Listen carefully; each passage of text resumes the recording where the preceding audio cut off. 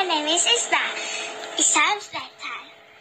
Today I will teach you how to use two books glued together and it won't fall down. Without glue. Dun, dun, dun. First you need two books. Then use one book. Flip it to the last page. Use the other book.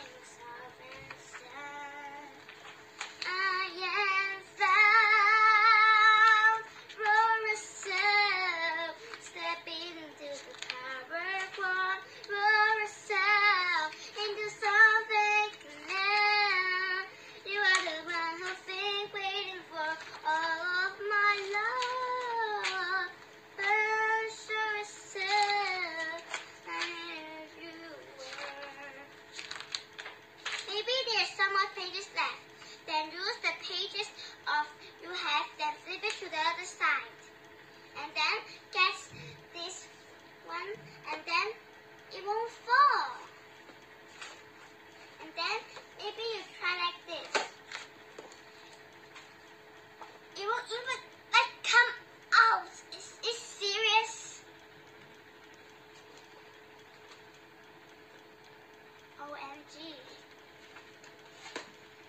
Thank you for watching. Please give a like below and subscribe below. Thank you. Bye. Yeah.